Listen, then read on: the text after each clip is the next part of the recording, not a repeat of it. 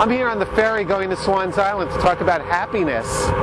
I'm here with my daughter and we're going on vacation for a week and it's beautiful and we're on the ferry going to this beautiful island. Uh, but um, we have this anticipation of happiness. Human beings, though, are notoriously bad at predicting what's going to make them happy. We expect that this is going to be incredibly wonderful, and we got the boat, we got the bikes on the rack.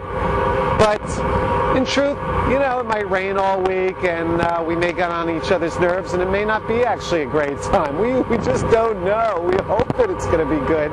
And so the big point is that happiness usually happens by accident when we least expect it. So I'm not sure. What do you think, Annika? Are we going to have fun this uh, this week? Definitely. She says definitely. We'll see.